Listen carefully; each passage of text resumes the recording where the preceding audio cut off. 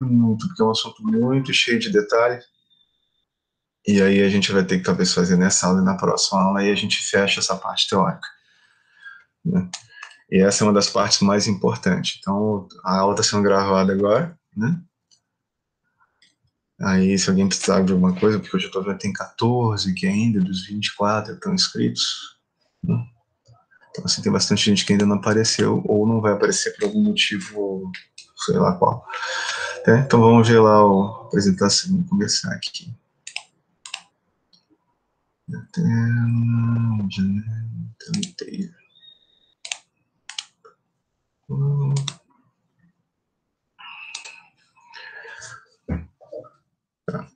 Na última aula, o que a gente viu? A gente viu como a gente obtém daí, a gente chega nas equações de quantidade de movimento e energia. A gente não ficou brincando muito com a equação de conservação da massa, nem com a conservação de espécies químicas. A equação de conservação da massa é, é digamos assim, é a mais simples de ser obtida, ela parece fácil. Então, achei muito importante dar tanto foco nela, porque é uma das que mais tem tem, tem nos livros, mas as que mais dão problema é Navier-Stokes e equação de energia. Né? E são as que a gente efetivamente trabalha bastante. Né? E o que, que era de importante da última aula, para ficar? É, como, eu, são, como são obtidas essas equações, o, que, o significado físico de cada termo, porque são os caras que vão dar problema dentro da solução numérica, ou seja, por que, que a equação, por que está difícil de resolver, por que tá, não está complicado, por que, que eu preciso refinar a malha, vai ser por causa da importância de cada um daqueles termos assinalados. Eu mandei para vocês um questionário agora para reforçar isso, para vocês olharem e ficarem pensando nesse, nesses aspectos. A equação de energia é a mesma coisa, como ela se relaciona com a equação do movimento, questão de dissipação viscosa, a equação da massa, como todas elas estão atreladas, né? Mas, de forma geral, independente dos modelos que a gente tiver, sempre que a gente estiver resolvendo problemas em CFD ou qualquer outro tipo de simulador, quase sempre a gente já está trabalhando com problemas de valores de contorno, que é diferente de um problema de valor inicial. O problema de valor inicial é um que eu tenho y t igual a zero, igual a y igual a zero. Ok, isso é para tempo. Problema de valores de contorno é quando agora é a mesma coisa, só que quando eu estiver trabalhando em relação à fronteira do meu domínio. Então, de modo geral, eu vou ter uma região física né, do meu sistema, essa amarelinha aqui. Vou ter uma EDP ou um conjunto de EDPs, essa aqui é EDP genérica, onde estima a propriedade qualquer, ou seja, tem variação com transporte do, devido ao escoamento com velocidade. Difusão dessa propriedade devido ao seu gradiente com a constante gama, que pode ser o K, o DAB, qualquer coisa, e uma fonte que gera ela, ou consome, no caso de calor, dissipação viscosa, uma fonte volumétrica, Navier-Stokes, gradiente de pressão, eh, campo gravitacional, campo magnético. E a gente vai ter duas entidades principais, gama, que é o domínio, ou seja, todo o volume que a gente está trabalhando, e delgama, que é a fronteira dele, seja, que é um, uma, que é um RN, que é um RN menos 1. Ou seja, tem uma dimensão a menos. Se eu tiver em 2D, meu fronteira é uma linha. Se eu tiver em 3D, minha fronteira é uma superfície. E nessa fronteira, eu vou ter daí, no problema de valor de contorno, um, uma condição de contorno. Ou vai ser o valor da variável, φ, ou seja, φ igual a alguma coisa, ou vai ser o valor do fluxo da variável φ. φ igual a uma, ou seja, a derivada de φ é igual a alguma coisa. Pode ser uma função, pode ser zero, pode ser um número, tanto faz. Vai ser ou derivada ou o valor da própria função. Com isso, a gente consegue resolver, ou analiticamente ou numericamente. No nosso caso, vai ser numericamente. O problema mais simples que a gente tem para, que ainda não é de não é de escoamento, é, digamos, escoamento em condução de calor em 1D. Tem uma barra aqui, com a temperatura quente, aqui na ponta uma temperatura fria, aqui a barra está totalmente isolada e dentro ela tem uma fonte de calor. Se eu pegar daí o balanço de energia completo, da equação de energia completa, como a velocidade aqui é zero, né, e é em regime permanente, tudo que me sobra daquela equação gigante que a gente viu na próxima aula é o termo de difusão de calor mais o de geração, que é dado. Eu sei, sem resolver isso aqui, que isso aqui é uma equação de Laplace. Com isso aqui, ela se torna uma equação de Poisson. Sendo que o K seja constante, né, a minha solução vai ser uma reta da região quente até região fria, sem fonte. Se minha fonte for positiva, ele vai aquecer e fazer uma parábola. Se minha fonte for negativa, ele vai resfriar e fazer uma parábola com, cavidade para cima. É assim que funciona isso. Alguém. Peraí, pediu alguma coisa aqui. Permitir.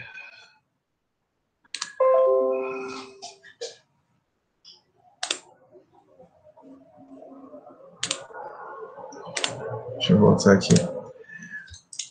Eu já sei disso, mas por quê? Porque eu já trabalho com isso aqui há um bom tempo. Depois de um tempo, vocês também vão saber isso. Qualquer equação desse tipo aqui, seja T, U, V, qualquer coisa que seja aqui dentro, isso aqui sendo constante, a fonte tendo um valor numérico. Se for positivo, ele fica virado para baixo. Se for negativo, fica virado para cima. Ah, mas não é o contrário? É o contrário, porque quando eu mudo o sinal disso aqui, isso muda o sinal aqui. Né? Então, isso altera o, como se comporta a função. E como é que a gente trabalha de forma discreta? Pô, eu não vou, vamos supor que eu não saiba uma solução analítica para isso aqui. Essa aqui, por acaso, tem, mas eu não vou fazer. O que, que eu vou? Eu vou pegar uma, aquela minha barra, eu vou torná-la ela pedaços discretos, ou seja, vou dividi-la em pequenos volumes, né? Nem tão pequenos aqui, Vou deixá-la aqui. E vou fazer um balanço de energia do que entra e do que sai, como eu faria para obter essa equação aqui antes, mas de forma discreta. E isso me dá uma temperatura nesse ponto, que está relacionada com essa, que está relacionada com essa, está relacionada com essa. E aí eu acabo criando um, um conjunto de equações, não mais né, diferenciais, e sim um conjunto de equações algébricas que me relacionam às temperaturas dentro desse domínio. Né? Então, vou fazer isso de pedacinhos. E, claro, quanto menor o pedacinho, mais preciso é o meu resultado. Por exemplo, aqui, ó, vou pegar lá, meu problema é um D, então só trabalho em X. Nesse ponto aqui, eu conheço porque é a minha temperatura na condição de contorno. Ela é dada. Se eu não tiver isso, não tem solução. A próxima do ponto 2, eu não conheço. Estacionamento ΔX, todos eles, a malha é uniforme. Eu não tenho um ΔX diferente aqui. Poderia ter, mas não é o caso. E a gente vai isso até chegar no último, ponto aqui, que eu fiz só com 7, que eu também vou conhecer esse valor. Então, qual que é o que a gente tem que fazer? Tem que arrumar uma aproximação que relacione essas temperaturas da vizinhança de cada ponto em relação à temperatura dos, dos pontos vizinhos, né? Em relação aos pontos nodais, ou seja, tem, só tem valores aqui nesses lugares. Eu não sei a temperatura nesse ponto, aqui no meio deles. Se eu quiser, eu tenho que criar um ponto ali. Né? E o que, que tem que ter essa aproximação para ela ser boa? Pode ser qualquer, desde que ela seja consistente. Né? Consistência. Eu vou falar aqui bem, não está escrito aqui no, na apresentação, mas assim, a consistência é uma propriedade da, das equações algébricas de aproximação que, quando esse ΔX aqui tender a zero, eu vou ter de volta esse negócio. Isso se chama consistência. Ou seja, se eu fizer o ΔX crescer, ele, eu fico com aproximação discreta. Se eu fizer ele diminuir, ele volta para a equação diferencial. Ou seja, na verdade, eu estou trabalhando com a mesma equação em escalas diferentes. Uma infinitesimal, onde o ΔX tende a zero, e o outro onde o ΔX tem um tamanho discreto, diferente de zero. A consistência me diz que quando eu vou de um lado para o outro, eu tenho a mesma equação. Se eu fizer o limite dessas equações discretas e elas não me retornarem a equação diferencial, a, a formulação não é consistente. E a consistência é uma das condições necessárias para que haja convergência, ou seja, eu preciso, se, se o meu método for consistente, ele me leva à convergência, né? uma hora ou outra. Se ele não for consistente, eu não tenho garantia de que eu tenho uma solução numérica que vai bater. Além disso, ela tem que ser estável. Quem brincou com a planilha lá do método de Newton, do método de, de Euler, viu lá que se para né, qualquer valor de delta t que eu, que eu posso usar lá, senão ele faz isso aqui, ó. começa a oscilar. Aqui pode acontecer a mesma coisa, né? Qualquer valor de ΔX que eu possa usar. Então, ela tem que ser consistente e estável. Consistência e estabilidade me garantem convergência. Se eu tenho uma formulação consistente estável, né?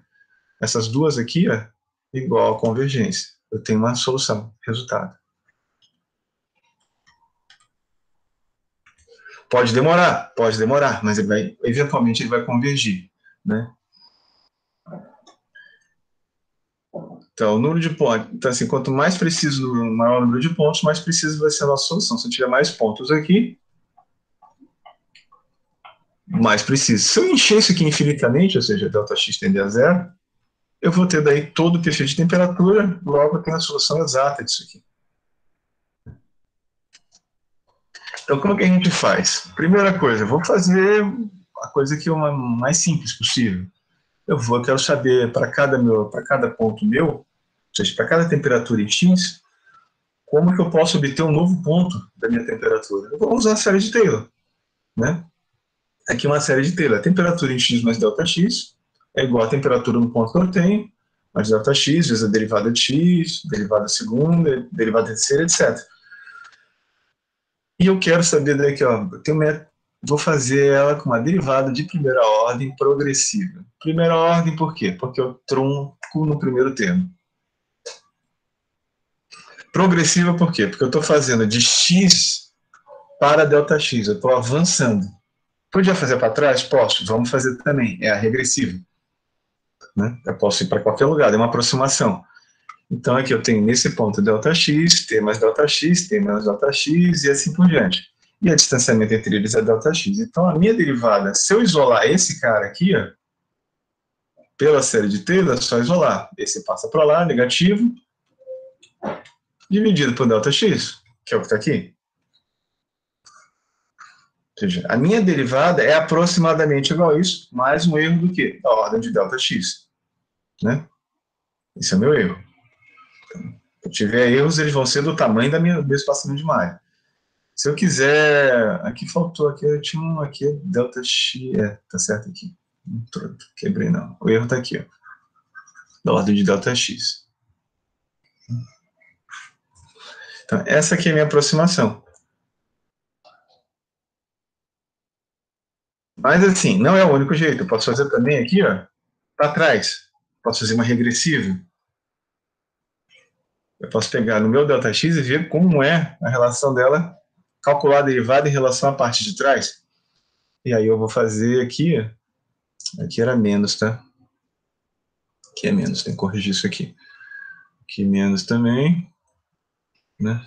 Acabei dando Ctrl C, Ctrl V ali, ficou feio. E aí eu vou ter uma nova aproximação, que aí é, é trocado, pode ver que é o da frente menos o de trás, né? Diferente dessa aqui, que é que é x mais delta x, agora o, o t de x está na frente, né? Mas continua sendo sempre o quê? Aquele valor, que é o valor como calcula a derivada. O valor da frente menos o valor de trás dividido pela distância, que é o valor da taxa, é o delta t sobre delta x, né? Coisa mais básica de, de, de cálculo. E se eu tirar o limite dessas duas coisas aqui? Se eu tirar o limite, fizer o delta x tender a zero, eu vou ter novamente a minha derivada. Então, isso aqui é uma formulação consistente. Se eu tivesse qualquer outra coisa aqui, mais algum treco aqui, tirasse o limite, não me daria esse treco aqui. Ia ter outra coisa que não seria dessa derivada. Seria derivada mais alguma coisa. Né? Do jeito que está aqui, ela é consistente. E eu posso fazer também central. Eu posso brincar com ela. Eu posso pegar esse delta x, eu quero saber em relação aos dois do lado. Né? Vou pegar aqui, ó. vou expandir ela para frente. Delta x mais delta x é igual a tudo isso aqui, truncado lá também. Delta x menos delta x, aí pode ver que esse sinal é alterado. Né? Vou multiplicar as por menos 1 e vou somar as duas. O que, é que vai acontecer? Vou somar esses dois termos aqui, né? Tá com sinal trocado, então fica o da frente menos o de trás em volta de t, é igual a 2, isso aqui vai acabar somando essas duas derivadas, esses aqui vão acabar se anulando. Todos os termos positivos vão se anular. E agora eu fico que a minha derivada central é igual ao termo da frente o termo de trás do ponto dividido por duas vezes o espaçamento, com um erro agora da ordem delta x ao quadrado. Né? Aqui é a segunda ordem. Nossa, aqui ficou cheio de Ctrl-C, Ctrl-V. Tinha que ter feito mais detalhes. Segunda ordem. Porque agora, eu estou agora relacionando esse termo esse termo para calcular a derivada nesse ponto. Ela tem uma ordem melhor, mas ela tem um problema. Ela não envolve delta x. Não tem delta x, né? Ela é usada? É usada também. Né? Mas ela não é, uma, não é a preferível. Ela é de, ela é de primeira ordem mesmo. Tá certo. Aí eu usei para segunda ordem. Isso aqui tá certo. Porque na hora que eu dividir tudo isso aqui por delta x, aí isso aqui vai acabar. Porque eu vou calcular a derivada segunda. Então aqui, ó, do jeito que está ali, a gente vai ficar aqui com esse ponto relacionado a esse ponto. E esse aqui não entra na conta. Ah, interessante? Não sei, tem que ver. Mas é uma aproximação também válida, né? Só que ela é central. Por quê? Porque ela, a partir do ponto que eu escolhi, ela me avalia as vizinhanças, né? Só que ela sempre usa os pontos vizinhos. E pode acontecer o seguinte, se aqui tiver alto, esse treco pode pegar esse valor aqui, sei lá, 1 mais 1 dividido por 2, então supor, dar 0,5. Aí eu venho aqui, 0,5. Aí aqui eu venho aqui, dá 0,5. Aí aqui vai dar 0,25. Né? E aí eu vou fazendo as contas, esse treco pode fazer assim, ó, como ele pega pontos saltados, ele pode é, ficar oscilando. Fazer isso aqui. E eu não pegar o que acontece no meio. Ser cego para isso, porque esse ponto do meio não está entrando. Ela, é, ela é usada? É usada também, mas ela tem esse problema de oscilar. Né? Tem uma melhor do que ela. Como eu quero aqui, ó, no meu modelo, essa derivada, ou seja, isso aqui, ó, se eu tirar o k ali, se o k com constante, vai ser igual a Q1D é menos K D2T dx ao quadrado, que é o que eu quero. Eu quero saber quanto vale d dx ao quadrado de forma discreta. Então, eu vou pegar do mesmo jeito, agora eu vou fazer uma de segunda ordem agora. Né? Vou fazer a mesma coisa, vou somar as duas agora, só que eu vou truncar mais lá na frente. Meu truncamento vai ser nesse termo aqui. Né? Aí eu vou somar todo mundo, vou somar essa, vai envolver essa, duas vezes essa aqui vai ser envolvida, esse aqui, como tem o sinal trocado, vai cancelar, esse aqui vai cancelar também. Então, eu não preciso truncar aqui, ele se anula sozinho. Então, eu fico com esse valor de derivada segunda aqui já, ó, certinho ali. Então, vou ter t à frente mais t atrás é igual a duas vezes o t no centro, delta x quadrado vezes a derivada. Isolando a derivada, a gente fica com esse valor, com essa aproximação aqui com o erro de Δx ao quadrado. E essa se envolve os três pontos, ou seja, eu tenho o ponto central, né? E os pontos vizinhos. Essa aqui é muito legal, porque se o meu problema linear pega legal. Se ele for parabólico, ele pega três pontos necessários. Eu preciso pelo menos no mínimo três pontos para pegar qualquer curvatura. Ou aqui também eu consigo pegar. Uma que envolve só dois pontos, eu não consigo fazer isso. Né? Eu sei que esse problema tem fonte. Né? ele vai usar, aí vai ficar com essa aproximação aqui. Que aí geralmente a gente faz assim, ó, T, é, tendo TI mais 1, menos 2TI, onde I é o índice dela, mais TI menos 1, dividido por delta x ao quadrado. A gente não vai usar esses delta x aqui. Isso aqui vale para todas as dimensões. Pode fazer na direção y e z? Pode, se fosse o caso de um problema em 3D. Mas seria a mesma coisa. Né? Então, o nosso problema discreto aplicado ao problema de condução seria o quê? Temperatura quente prescrita, temperatura fria prescrita, sétimo volume de controle. E aqui, a minha, a minha equação diferencial se torna essa equação diferencial discreta. Que se eu pegar, tirar o limite disso aqui, tendendo de ΔX tendendo a zero, me retorna a equação diferencial. Isso se chama consistência. Essa aproximação aqui também é estável. Então, eu vou ter consistência e estabilidade, muito provavelmente eu vou ter convergência. Então, quem é que eu quero calcular sempre? Sempre calcular o meu ponto, o meu t no ponto i. Certo? Onde ia qualquer posição aqui dentro, né? Aqui é I mais um, e aqui é I menos um. Professor. Fale. Então, nesse caso, a gente está considerando que a gente conhece a, esse T-hot e o T-code. É, sim, são condições de contorno, eles são do problema. A gente, se a gente não tiver a condição de contorno, não tem solução. Ah, beleza, então. E aí, então, é, só para ver se eu entendi, para encontrar as outras temperaturas, está fazendo tipo por, por iteração, para conseguir conhecer. É, pode, a gente pode montar um sistema linear ou fazer interação. A gente vai ter os dois caminhos. Por enquanto, a gente ainda só está criando a aproximação. Depois vem a solução disso. Mas, assim, é, quem já fez lá de 1, tem lá o problema da barra. A gente tem uma caixa lá, que tem lá o vapor que fica 90, 80 e poucos graus. Né? E a outra ponta está isolada ou a gente supõe que está isolado, né? Essas condições são conhecidas? A gente tem que conhecer. Então, quando a gente montar o problema, o código vai te perguntar que velocidade que entra, que temperatura que tem. Porque senão é só uma, uma variável, é só uma letra. Ela tem que ter um valor numérico. Então, aqui vai ser 100 graus, ali vai ser 20 graus, etc. Ela é conhecida. Se não tiver isso, o problema não tem solução. A gente só vai montar um monte de equação que não tem valor nenhum. Precisa de um valor numérico conhecido. O único conhecido, quando a gente começar aqui, ó, se a gente for calcular desse pontinho aqui, o primeiro amarelinho, o TI menos 1 é justamente a condição de contorno. Ele é o cara que a gente conhece. E aí eu consigo calcular da frente, eu consigo prosseguir, prosseguir aqui ó, ao longo de cada um deles a partir da condição de contorno. E quando eu chegar nesse aqui, ele vai me pedir o T da frente, o TI mais um. O TI mais um é justamente a condição de contorno nesse ponto. Ah, e lá no meio, é o valor que tem dentro, que a gente vai começar. A gente tem que dar um chute, que é o que tem na planilha de vocês. Aqui e, é... Oi. E eu, eu, poderia fazer também aí, sem esse, esse isolamento, ficaria muito difícil? Ficaria. Não, tipo... é mais complicada. Dá para fazer assim, não tem problema nenhum. Aí eu teria que fazer a discretização de Y. Aí seria T e J.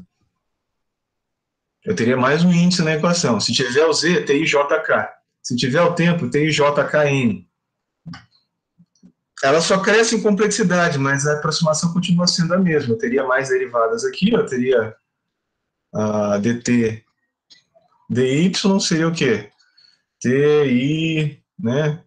J mais um, TIJ, né? TIJ menos um. Seria a mesma coisa dividido o quê? Por delta y ao quadrado. Aí quando chegasse aqui em cima, no, no, nos contornos, aí aqui eu teria também volume de controle aqui, ó, separando aqui, seria agora uma discretização 2D, não seriam mais fatias. Né? Seriam fatias e setores, né? Seria um negócio assim. Seria como se fosse uma pizza cortada em anéis, além de fatias. Eu teria tudo isso aqui. Aumentaria a complexidade e o tamanho do sistema, mas a filosofia continuava a mesma. Isso pode ser daí feito para x, y, z e para o tempo. A gente vai ver tudo isso. E você resolve qualquer problema desse jeito. Então a gente aqui, primeira coisa, a gente vai deixar, a gente pode resolver ela desse jeito, ou isolar t que eu quero. Isolando t, eu vou ficar, aqui é a função dos vizinhos, ou seja, qualquer valor aqui é a função de ti menos 1, ti menos 1 dividido por 2, ou seja, a média deles, né, para essa discretização aqui, o delta x vai acabar multiplicando aqui, tudo isso aqui é um número, o q é conhecido, o k é conhecido, e delta x você que escolheu. Então isso aqui vira um número, positivo ou negativo, não sei, depende do valor da fonte, se ela está tirando ou adicionando calor. Então vai ser isso mais um número, que é o que tem lá na planilha do Excel. Vocês podem olhar a fórmula da, daquele do problema de condição, e é essa fórmula que está implementada lá dentro. Aí você vai é, calculando a partir dos, do contorno, você vai avançando aqui, ó. Aí depois que eu vou, eu vou ter um valor para esse. Depois eu venho, calculo aqui, ó. Vou pegar esse valor. Esse valor que eu acabei de usar, vou usar nesse depois eu vou usar nesse, depois eu vou usar nesse, nesse, nesse, nesse, aí eu encontro a condição de contorno de novo. E faço isso até convergir, de forma iterativa. Por isso que a gente precisa usar o computador, porque esse negócio ou vai envolver uma matriz ou vai envolver uma sequência de cálculo muito chata, mesmo para um problema pequeno desse, demora. A gente tem que fazer a conta para cada um desses pontos e ficar fazendo de forma repetida. Como é um problema. Oi. É, mas eu vou, vou, trabalhar com uma série de Taylor para cada ponto desse. Isso. Isso aqui vale para todos os pontos. Essa, deixa eu limpar aqui a, a, essa, essa riscaceira aqui. Então, essa equação aqui discreta em azul vale para cada um desses aqui. Então, assim, ela vai valer de 1, 2, 3, 4, 5, 6, 7, 8, 9, 10, 11. Então, a gente vai de 1 a 11. Então, a gente vai ter 11 equações dessas. Sendo que a equação para 1 vai envolver condição de contorno e o ponto 2. A equação para 2 vai envolver o quê? O ponto 1 e o ponto 3. A equação para 3 vai envolver o quê? O ponto 2 e o ponto 4. Ou seja, as equações estão amarradas Quando eu chego lá no final, Aí, quando nos, nos, nos, meus, 11, meus 11 pontos, o erro vai ser na ordem de quanto? Porque aqui, é, nenhum ponto delta x ao quadrado, final. Essa é delta x ao quadrado. Porque foi a ordem da aproximação que a gente usou. Essa aqui. Se a gente tivesse usado qualquer outra, seria da ordem daquela. Aí, ah, você quer saber se muda o resultado? Aí você refina. Você começa com 11, vai para 20, vai para 30, hora, aí o resultado vai ficando isso aqui. A hora que você vê que ele começa a passar em cima dele mesmo e não muda muito, ali tá bom. Seja, o resultado não depende mais da malha. Né? Mas quando a gente começa, se ele funciona para 5, ele funciona para 5 milhões. Não interessa. Então nunca teste com 5 milhões. Né? Teste com 5. Se for para ver um erro, alguma coisa no cálculo, no código, na planilha, você vai ver de forma rápida. O grande erro de quem está começando a trabalhar com simulação é, pô, vou atochar na malha, vou fazer um negócio gigante. Aí fica três horas calculando e o cálculo errado. Você levou três horas para saber que tem erro. Faz uma coisa pequena, porque é, você está testando ainda física, ver se as condições estão legais, se a sua malha foi boa. Aí quando você começa a fazer isso, está rodando, está funcionando, né? Verifiquei o código, ou verifiquei o meu, meu setup. Agora eu vou refinar. Eu vou ver como é que meu resultado. Agora eu quero ver a minha física mesmo. Eu vou refinar minha malha até o ponto em que preciso para trabalhar e dar o erro aceitável para o meu problema, de acordo com a minha aplicação. Isso varia de aplicação e de necessidade, tá? Então não tem fórmula mágica. Né? O que vai dizer que está muito certo ou não é a comparação com o experimental, ou, nesse caso aqui, que existe uma, uma solução analítica. Como na maioria das vezes não tem solução analítica, a única coisa que diz para a gente que o quão está bom é a parte experimental. Por isso que a parte experimental é importante ter. Alguém tem que ter feito o experimento em algum lugar. Ou você mesmo, ou você baixa um artigo, acha alguém que estudou aquilo de forma experimental. E vai comparar daí a solução do seu modelo. Se eles baterem, significa que isso aqui representa a física do seu modelo. Vamos supor que não fosse isolado aqui. Tivesse calor entrando aqui. Aí você vai comparar os resultados, vai dar tudo diferente. Significa que esse modelo que tem isolamento não é o que acontece lá no, teu problema. Tem convecção, digamos. Então tá errado. Você tem que repensar o modelo e adicionar a convecção aqui. Né?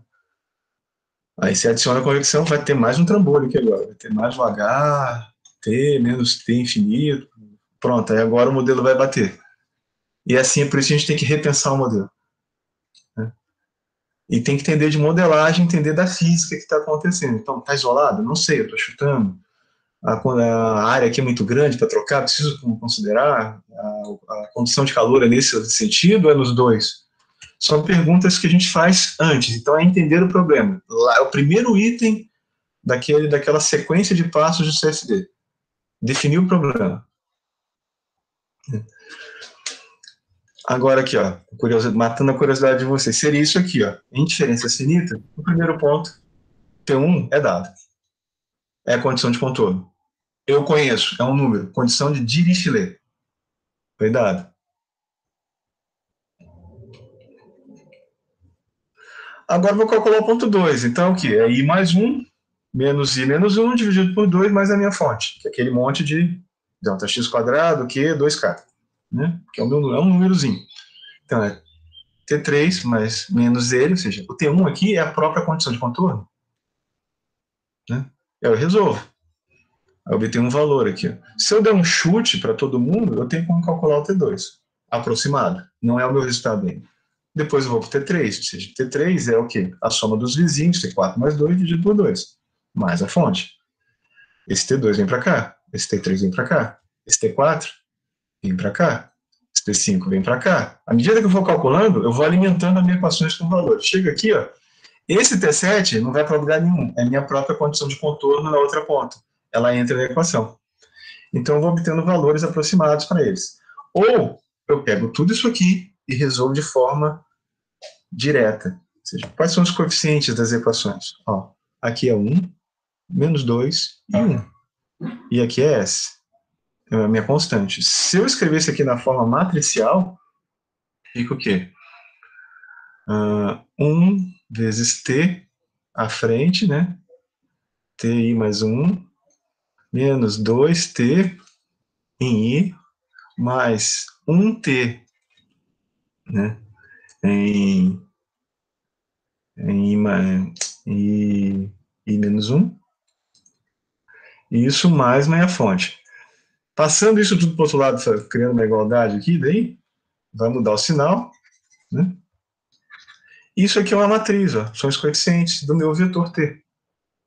Ó, 1, menos 1, 2, 1, ou seja, tudo aqui, tudo igual. E aqui são os valores, sendo que aqui, ó, aqui eu não sei, é minha incógnita, e aqui é o meu vetor b. Onde eu conheço nessa ponta a condição de controle, nessa ponta outra condição de controle, que é o que também está lá na planilha de vocês, está lá implementado, naquele que está resolvido de forma matricial. Desse jeito aqui eu resolvo o sistema linear. Numa único, num único clique eu resolvo. No caso aqui, essa matriz é bem pequena. Você pode ver que eu tenho que 1, 2, 3, 4, 5, 6, 7. 7. Tipo desse tamanho a matriz. Se eu botar 100, vai ser uma matriz 100 por 100. Se eu tiver mil pontos, vai ser uma matriz mil por mil. E assim vai. Né? E a gente sempre vai ter isso aqui, ó. mesmo desse problema bobo. Condição de contorno. Ali vamos supor, nessa ponta aqui que eu não tivesse temperatura prescrita. Tivesse convecção, que é bem comum de ter. Ou seja, outro tipo. Chegar nessa ponta aqui, eu não conheço a temperatura, eu conheço o fluxo. Eu sei que é o que sai por convecção, é tirado por convecção com a temperatura do fluido que está do lado externo, sai, tem, tem que atravessar essa fronteira por condução aqui do sólido. Ou seja, ele vai vir aqui e vai sair aqui por convecção. O que, que eu tenho que fazer? Vou fazer tudo igual. Aqui as equações são iguais, é igual, é igual, é igual, é mesmo que tinha antes. A diferença é que agora eu tenho que discretizar a condição de contorno. Eu não posso usar. Aqui também é uma equação diferencial, ordinária. Não consigo usar ela dessa forma. Estou trabalhando de forma discreta. Eu tenho que trabalhar em, em funções dos valores nodais, ou seja, de T de fronteira, T1, T2, T3, eu tenho que inventar uma aproximação para essa derivada para que eu possa usar essa equação aqui. Aqui eu vou fazer a mais simples possível, eu vou fazer uma diferença de primeira ordem progressiva. Cadê aqui? Vou fazer essa aqui. Ó. Por que, que seja minha fronteira? Eu vou, eu não tenho como calcular temperaturas aqui fora.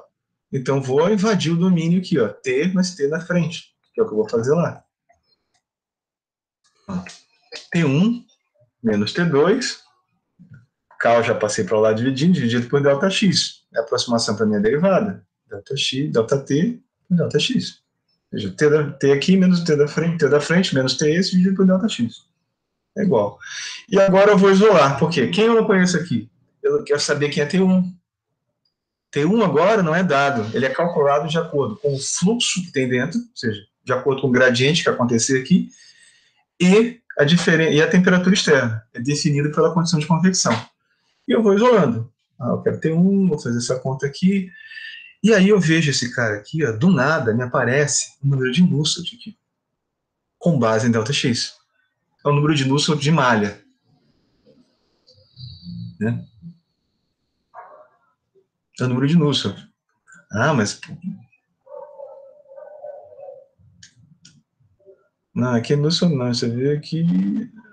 É, pode ser de bio aqui também, depende de quem é esse H, tá? Pode ser o número de Biot também. Se esse, H, se esse K aqui for o K do fluido ou o K do sólido. Hum? Aparece aqui o número. Aí você vê aqui, ó.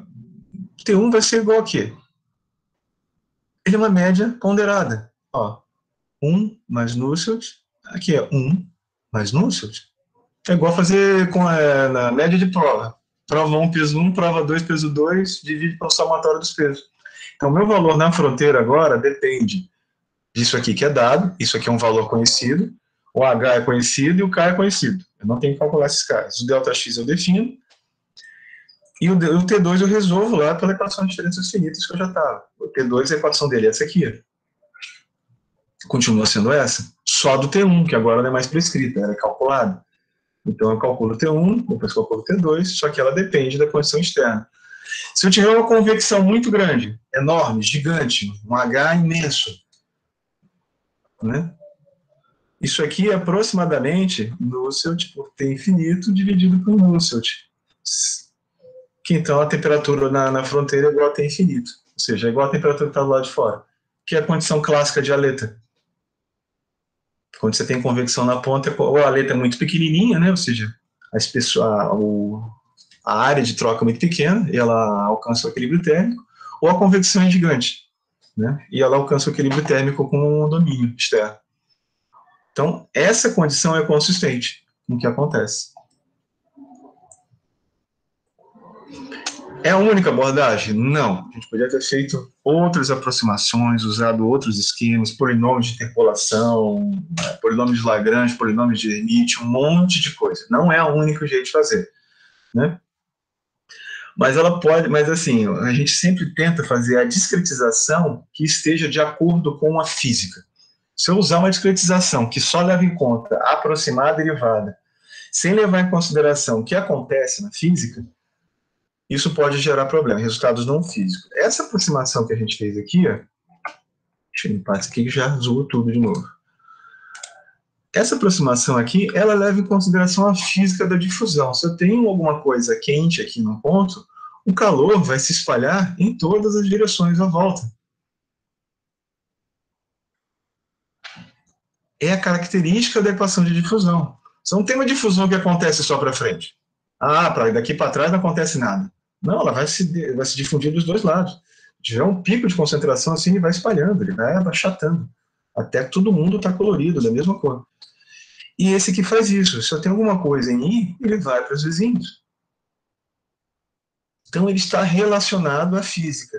Tem outras aproximações que dariam resultados parecidos? Tem mas elas podem ser inconsistentes, e eu não tenho garantia de que esse sistema aqui vai, eu vou conseguir obter minha A-1. Pode dar problema aqui, pode dar um det igual a zero. Se der det de A igual a zero, acabou, não inverto mais a matriz.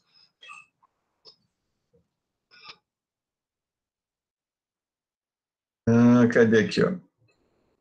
Aqui outros tipos de, para aquela mesma lá, ó, vou fazer uma regressiva.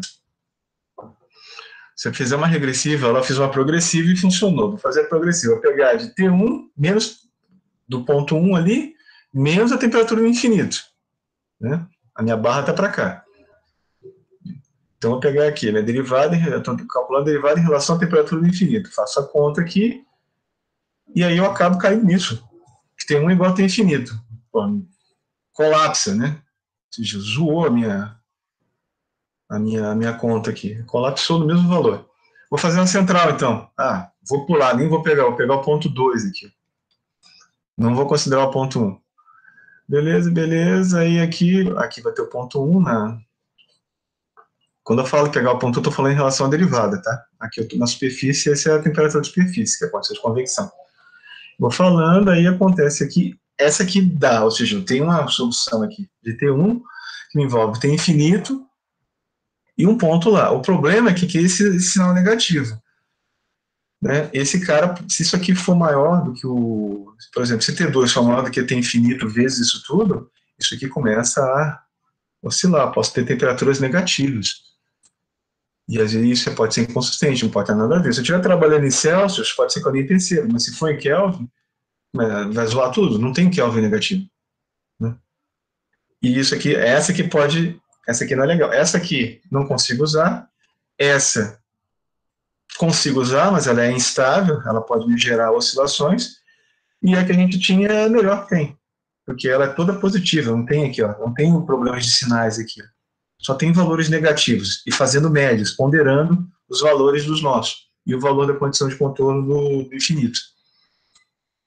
Ela é melhor. Ah, como é que eu sei escolher isso? Você não vai ter que fazer isso porque no simulador já está feito. Mas se você estivesse programando, essa escolha de qual tipo de aproximação seria sua, totalmente sua. você poderia testar elas e ver daí qual delas seria melhor. Né? Aí você faz lá e vê.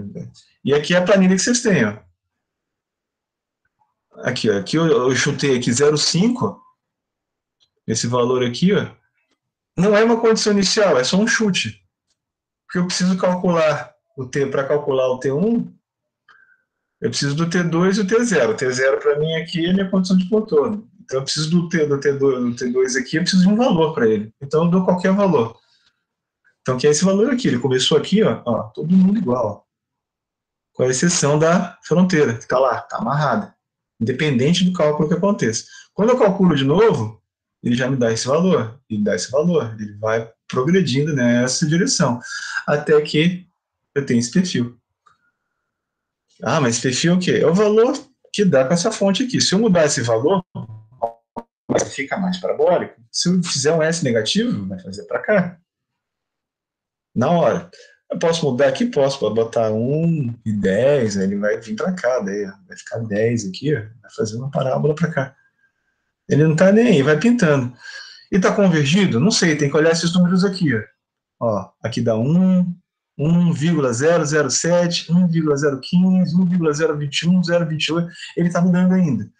Pode ver que no começo ele muda bastante. Ele vai de 0,5 para 0,52, 0,56, ele vai mudando tipo na segunda casa. Depois ele vai mudando na terceira. E aí vai ficando mais lento, ou seja, a convergência fica mais. Quando eu paro? Quando você acha que tá bom. Em algum lugar lá do mundo você vai ter aqui, ó, soluções experimentais ou uma solução analítica para você comparar para saber se está bom, né? E você vai ter o erro disso, né? Você sabe quanto está mudando a, a, variação de uma para outra, né? Da, da 28 para 29, da 30 para 31. Você consegue é, ver o quanto está mudando a solução para cada uma dessas iterações aqui. E se eu fizer como sistema linear? É igual. Só que aí eu não vou agora isolar, ou seja, não vou explicitar uma dessas aqui. Eu não sei, eu não conheço ninguém, não sei quem é T1, não sei quem é T2, não sei quem é T3. Não vou chutar ninguém. A única coisa que eu conheço é essa e essa. No caso aqui é T1, que eu conheço mesmo. Então, a minha equação geral é essa aqui. Para todos os pontos. Uma, duas, três, quatro, cinco. Ó. Uma, duas, três, quatro, cinco. Ah, mas não são sete? Não. Por quê? Esse eu conheço e esse eu conheço. A equação dele é essa. E a equação desse é essa. Ou seja, o coeficiente dele é 1. Na matriz inteira só vai ter 1, o resto do zero que é o único cara que tem ali o próprio 1. E aqui, ó, 1 vezes T7 é igual a T-code. 1 vezes T1 é igual a T-hot.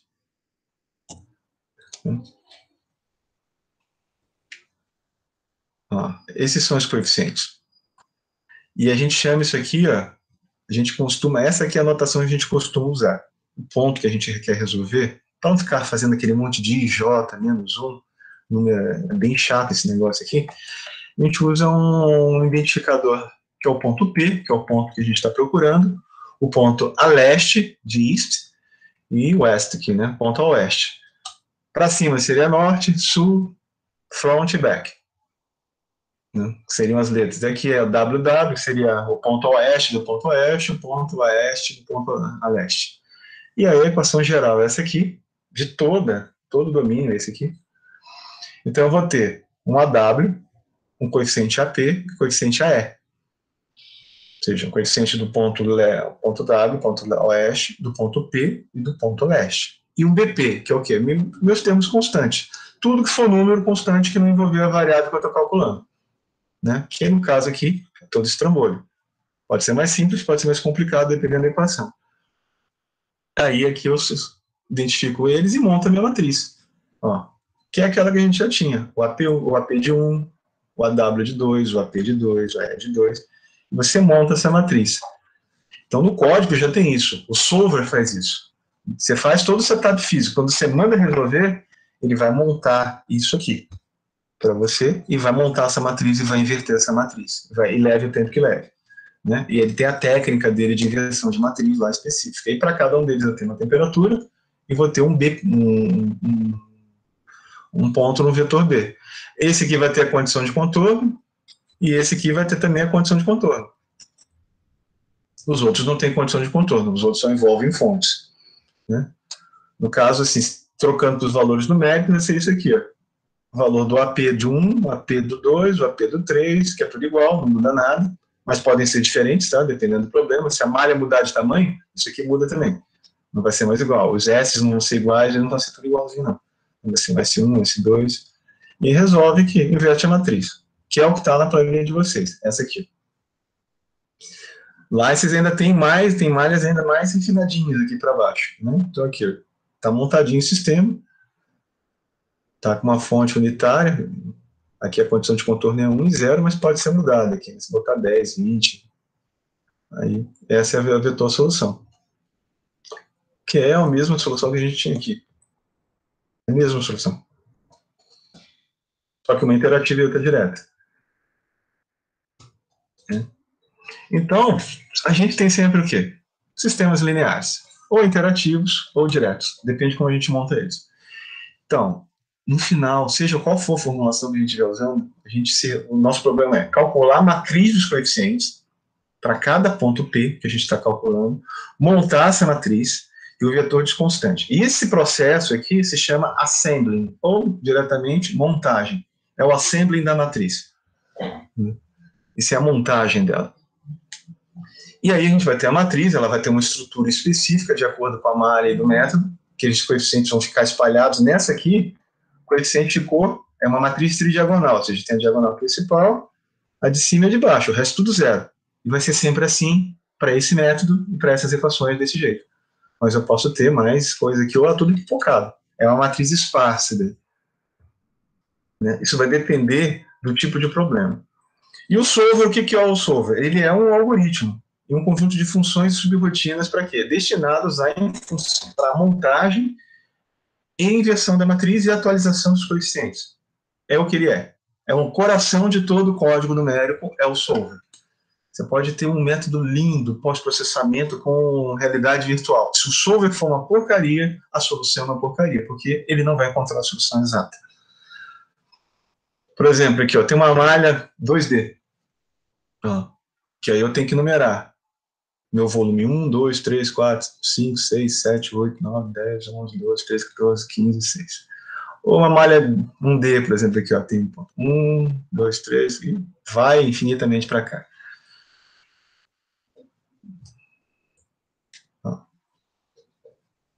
Como tinham feito a pergunta lá no começo, ah, se fosse 2D, seria assim, além dos pontos vizinhos, na direção X, eu vou ter que levar em consideração os pontos vizinhos na direção Y. E se tivesse aqui, ó, front e back, eu teria também na direção Z. Seria assim. Então, nesse caso aqui, para uma malha 2D, eu tenho um esquema de cinco pontos. O que, que é um esquema de cinco pontos? Porque para cada ponto que eu tenho aqui, eu tenho que levar em consideração quatro vizinhos.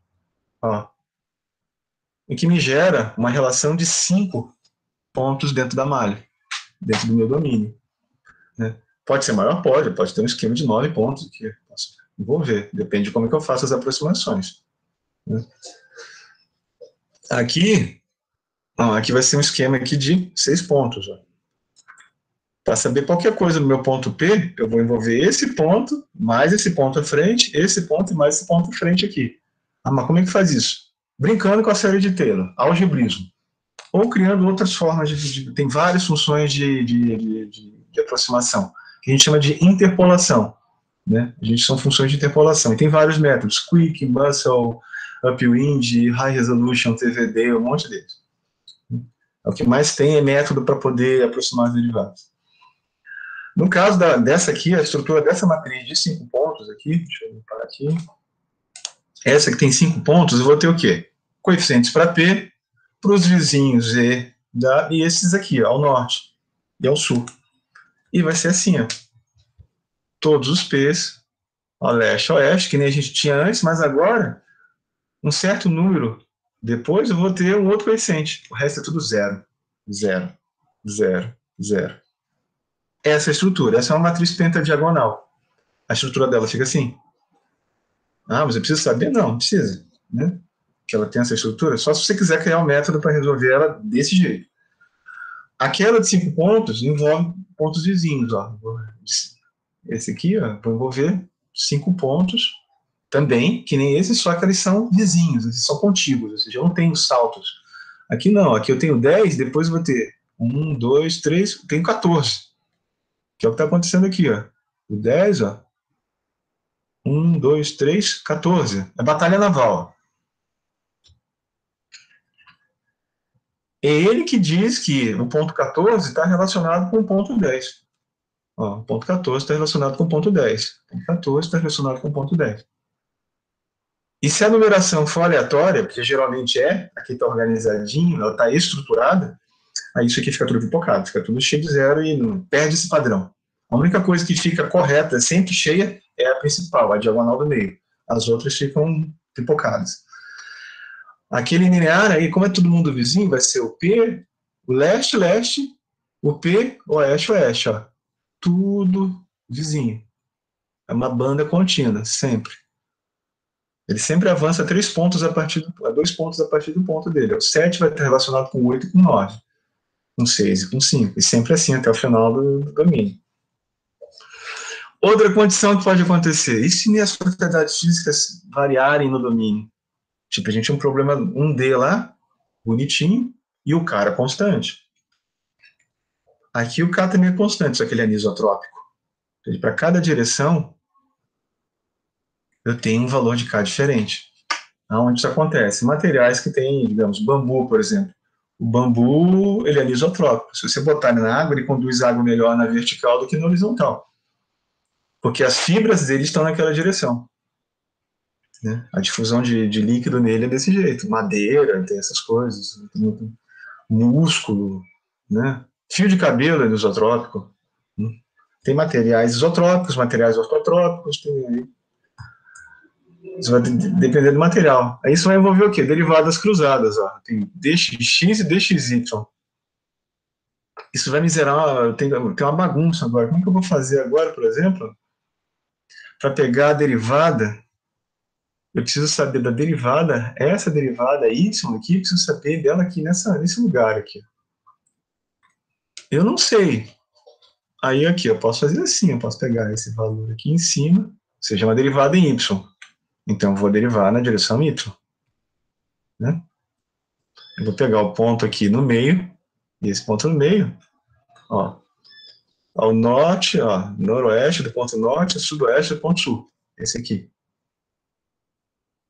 Essa, esse ponto aqui, né? Esses dois aqui.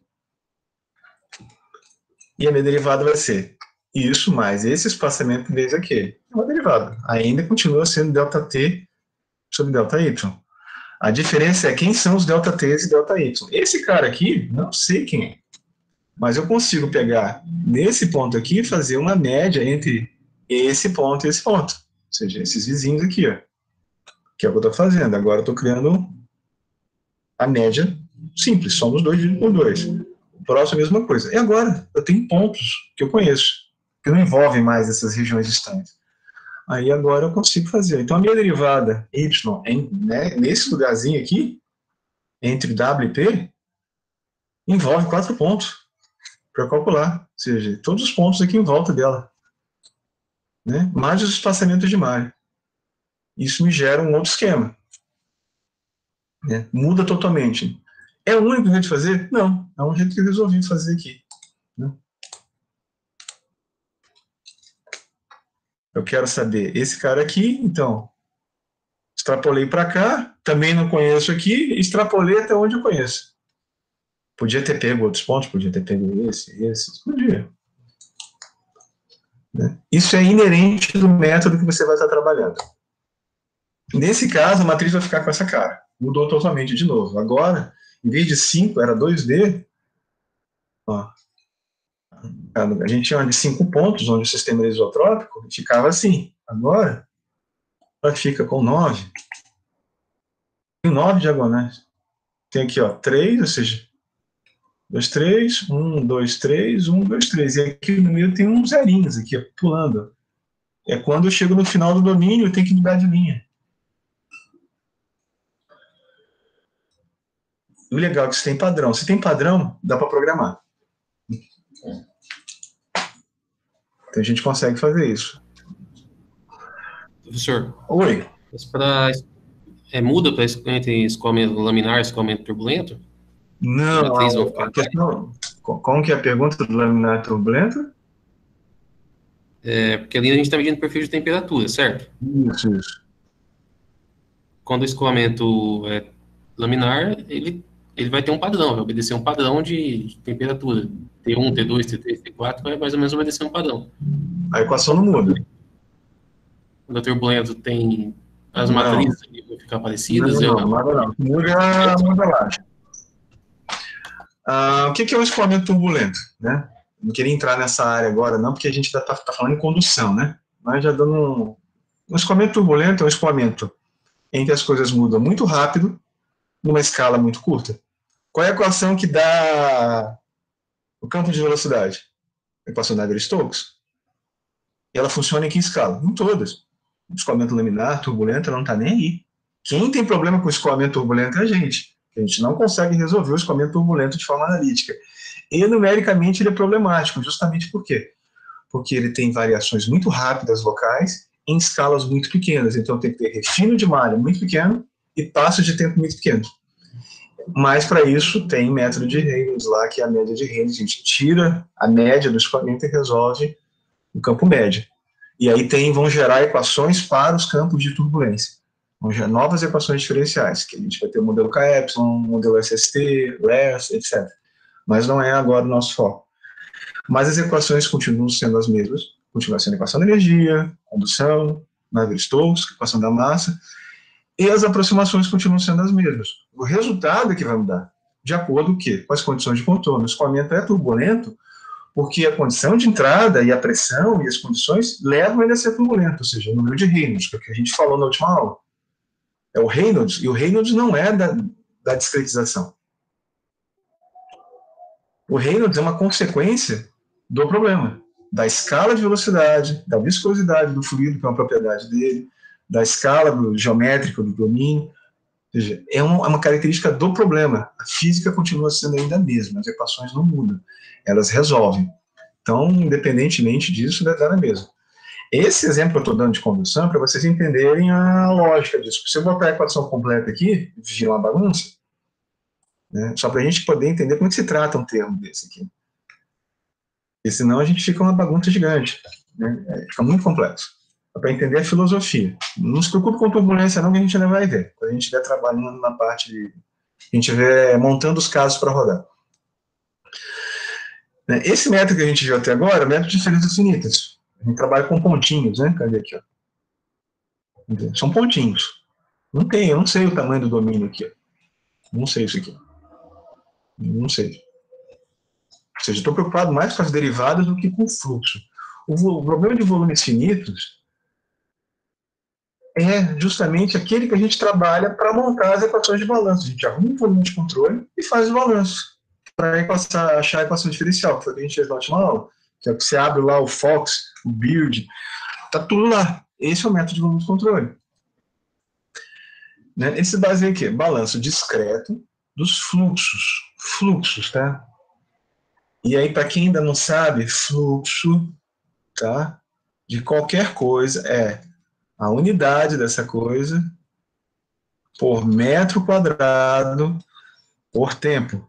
Sempre. Ah, é fluxo mássico, então é quilograma por metro quadrado por segundo. Quilograma por segundo não é fluxo mássico, é vazão mássica. Fluxo é sempre por área e tempo, sempre. Porque para saber o quanto flui aqui, eu tenho que multiplicar pela área. Né? Aí sim, agora eu vou ter sabe, saber quanto. Aí se multiplicar pelo tempo que se ficou, aí eu vou saber a massa que passou. Então, o método de volumes finitos, ele trabalha conservando o fluxo, né? A gente calcula o fluxo, e é por isso que ele é usado em fluidos. Se a gente for para a estrutura, a gente vai ter um método de elementos finitos. Né? Que pode ser usado também para escoamento, não tem problema nenhum. Só que ele naturalmente já foi usado para a área estrutural. É, é de praxe já usar ele em, na área estrutural ele não tem essa questão de conservação de fluxo, esse apelo físico. Como a gente está trabalhando com que entra, que sai, volume, que entra, fluiu, temperatura, fluiu, entalpia, fluiu, massa, Então, esse aqui é um dos métodos, tipo, 99,9% dos simuladores de escoamento usam volumes finitos. Tem um ou outro que usa elementos finitos, por exemplo, Consol. Consol trabalha com média de elementos finitos, por isso que ele patina para trabalhar com escoamento. Né? O método de volumes finitos ele é projetado para trabalhar com escoamentos, mas pode trabalhar com qualquer equação diferencial, assim como o método de elementos finitos pode trabalhar com escoamento também, não tem problema mas você tem que fazer, às vezes, uns sambas, no, no, dar uma sapateada numérica para poder resolver. Se feito de forma correta, ele é conservativo, ou seja, o que entra é igual ao que sai. É o mais importante do método de volumes finitos. Conservação de fluxo, ele é conservativo. Ser feito de forma correta. Então, quais são os elementos que a gente tem? Primeiro deles, claro, o próprio volume de controle, que é essa coisinha rosa. Aqui um volume cartesiano em 2D. A gente vai ter o ponto dele, que representa ele mesmo. Então, tudo que tiver aqui, se eu disser aqui que tem um de valor, todo volume de controle tem um de valor. Então, esse valor do ponto P é o valor do volume de controle. Pô, mas o volume é grande? É. Por isso que é discreto. Se eu quiser que ele seja melhor, eu tenho que diminuir o tamanho do volume de controle, até fazer ele entender o ponto, se eu quiser. Né? Eu tenho que fazer o método ser consistente. Além disso, eu vou ter as faces do volume de controle, onde eu promovo a integração das equações. Aonde? Nos pontos de integração. Ou seja, esse ponto aqui é o ponto que representa o valor da face, assim como esse ponto é o ponto que representa o valor do volume. Em 2D eu vou ter daí o oeste, leste, norte e sul. Então a gente tem o ponto de integração, que a gente chama de PI, volume de controle VC, e a face do volume de controle. A gente sempre avalia as equações do ponto P, ele representa a média de todo o volume de controle, os fluxos a gente avalia nas faces, ou seja, nessas faces aqui, integrando nesse ponto. Né? E para isso a gente vai ter que interpolar. Interpolar usa o quê? Funções, é, séries de Taylor. Então, para saber alguma coisa aqui, eu tenho que usar o próximo ponto. Então, para saber isso, eu vou fazer uma interpolação entre eles. E isso me amarra as equações e me gera um sistema linear, porque eu também não conheço o ponto da frente. E quando eu não conheço nada das equações e preciso resolver todas ao mesmo tempo, isso é o mesmo que álgebra linear. A gente tem que inverter a matriz. Então, aqui, ó. Forma das equações completa aqui, ó, de forma conservativa. Transiência, escoamento, advecção, né?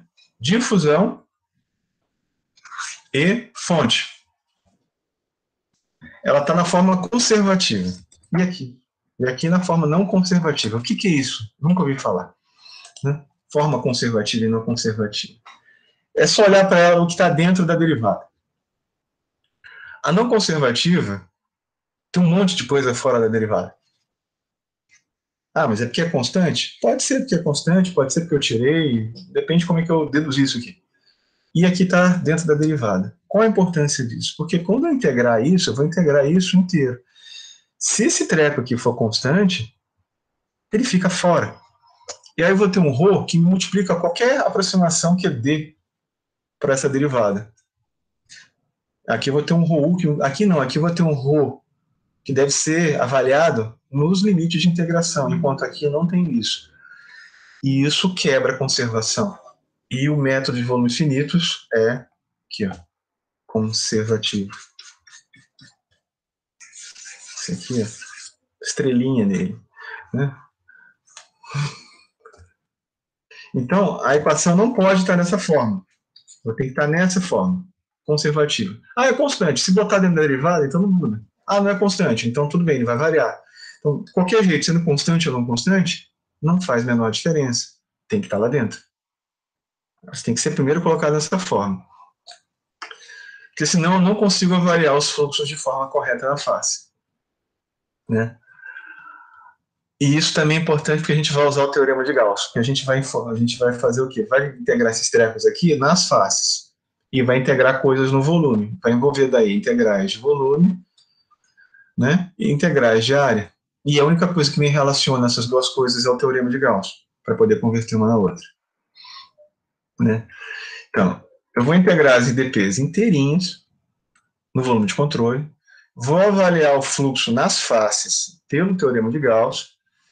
E o teorema do valor médio, para quem não lembra de cálculo 1, é o que diz o seguinte: há um valor da minha função né, entre f de x e f de x mais delta x, né, que, que diz que eu tenho aqui uma f média que representa o valor da função daquele ponto quando o ΔX tende a zero. Ou seja, está dizendo o quê? Naquela face ali que eu vou fazer o meu ponto de integração, o valor que eu usar aqui representa a média dele. Quanto menor ele for, mais verdade isso vai ser. Como menor for esse, esse distanciamento aqui, ó, ter. Até uma hora que realmente eu avalio a derivada do ponto é o teorema do valor médio, ou o teorema fundamental do cálculo lá que vocês têm. É cálculo básico. É isso aqui. A gente tem um domínio gigante aqui, né? Para entrar para cá, mas a gente não precisa trabalhar com ele todo. A gente tem o ponto P. Vou integrar essa equação de transporte 1D de uma propriedade φ qualquer só na direção x em regime permanente. Ou seja, essa equação aqui, sem isso, sem isso, sem isso, sem isso, sem isso seja, é uma simplificação. Porque o que eu fizer numa direção, dá na mesma na outra direção. Né? Só vai mudar daí os índices e coisas do tipo. Então, esse é um problema clássico de advecção de fusão, com uma fontezinha. Então, eu tenho meu volume de controle P, onde eu vou avaliar, ele vai ter a face W e a face E, que é a face leste a face oeste, que ele tem em relação ao volume vizinho W e o volume vizinho a leste. Aqui é o maiúsculo, aqui é o minúsculo, aqui é o maiúsculo minúsculo, para separar o que é volume e o que é de face, só para isso. Então eu pego lá, pego a minha equação diferencial, vou integrar no meu volume de controle, em dV. Aqui também, dV, dV, e aqui, dV. Ai, como é que eu faço isso agora? Eu vou fazer daqui, eu vou pegar o meu, meu, meu derivado aqui, ó, do meu, do meu primeiro termo, esse aqui, ó fazer aqui, vou abrir ele. Eu vou fazer ele de norte a sul, de leste a oeste, uma integral dupla, em x e y. Né? É uma integral de volume. Só que em y não tem nada aqui, está vazio, né? O escoamento se dá, é um d. É nessa direção só. Então, não dá problema nenhum. A minha integral y é a própria derivada. Quando eu integrar a minha derivada em relação a x, é assim, eu tenho uma derivada, tenho uma f' integrada em x. Né? Então, isso vai ser o valor da minha função em 1.1, 1.2. Isso aqui vai ser igual ao valor da função, que ela resultaria em 2, menos o valor da função do ponto 1. E é o que está ali. É o valor da minha função, ou seja, da minha função derivada, no ponto a leste, ou seja, na face leste, menos o valor que ela tem na face oeste, vezes a área dessa face. Bom, mas a área qual? É isso aqui. Ó. E esse 1 é o z que a gente não está considerando. Que é o normal a nossa tela. Né? Então aqui é metro quadrado que tem aqui. Por isso que eu falei em fluxo. Então isso aqui fica variação por segundo de alguma coisa, vezes a, por metro quadrado. Se fizer aqui as, as unidades disso, vai dar o valor da unidade de φ, seja lá qual for, por metro quadrado por segundo. E o difusivo é a mesma coisa. vou pegar aqui, ó, eu tenho uma derivada segunda. Quando eu integrar uma derivada segunda, com certeza me dá uma derivada primeira. E é o que vai acontecer. Eu vou integrar ela, em y também não dá nada, porque na derivada é x, né? Só vai dar o quê? Delta y. E quando eu integrar ela, vai ser o quê? O valor da minha função derivada, ou seja, que essa derivada primeira inteira aqui, ó, na face leste e na face oeste. Aqui em cima, o valor que o fluxo tem aqui, e aqui, e o valor da derivada aqui e aqui. Até aqui não usei aproximação nenhuma, isso aqui é a integração normal que a gente teria feito. A gente ainda não conhece as funções. E esse cara aqui, que é um... De cara ele fica desse jeito. Mas eu posso linearizar ele, tá? Se ele for não linear. Porque tem um problema. Isso aqui é um sistema linear. Se tiver um quadrado naquele negócio aqui, o sistema fica não linear. Então tem que linearizar. Mas não se preocupem com isso. Geralmente ele é feito desse jeito aqui, ó. Mudado assim, né? E a gente escolhe isso aqui fazendo, manipulando algebricamente ele. Mas não é um problema aqui. É um termo fonte. Ou seja, ele gera a quantidade de fio, consome a quantidade de fio. Então a gente fica com essa equação. O valor do fluxo carregado com a velocidade U na face leste esse U avaliado na tudo aqui é avaliado na face leste, a densidade aqui, a velocidade aqui e o ρ aqui, e o, e o φ aqui, todo mundo. Aqui a derivada na face leste, derivada em fonte. Essa equação aqui é exata. Não há aproximação numérica. Eu só não resolvo ela porque eu não sei quem é φ. Eu não sei quem é a φ de x y. Eu não sei. Eu não sei quem é essa função. Para poder colocá-la ali e avaliar, nem para poder derivá-la e calcular isso aqui. Eu não sei. Eu não conheço. Então, assim, eu, não, eu, eu vou ter que fazer o quê? Vou ter que interpolar esses Eu não sei os valores, como conheço as funções, eu não conheço os valores dela dos pontos e muito menos das faces. Então, eu vou ter que interpolar os valores da face, usando os valores nodais, ou seja, W, P e E, para que eu possa fazer isso. Eu vou usar daí as funções de interpolação, que foi o que a gente acabou vendo sem dar nome, que são as séries de Taylor. E é aqui que a gente introduz as cagadas. Né? Literalmente. Se a gente fizer uma boa interpolação, o método vai ser bom. Se a gente fizer uma interpolação ruim, ele vai ser ruim. Vai ser oscilatório, vai divergir, vai demorar, convergência pobre, ou, ou, ou resultados errados, resultados não físicos. E é aqui que a gente introduz os erros. Né? Nesse ponto, quando a gente vai aproximar, até aqui a equação está exata, ok, não tem problema nenhum. Elas podem ser puramente matemáticas, mas, como eu adiantei, as boas são que levam em consideração as características físicas do problema. Então, cada equação de balanço vai ter um tipo diferente de abordagem para discretizar. Deixa eu ver que horas são aqui. Tá.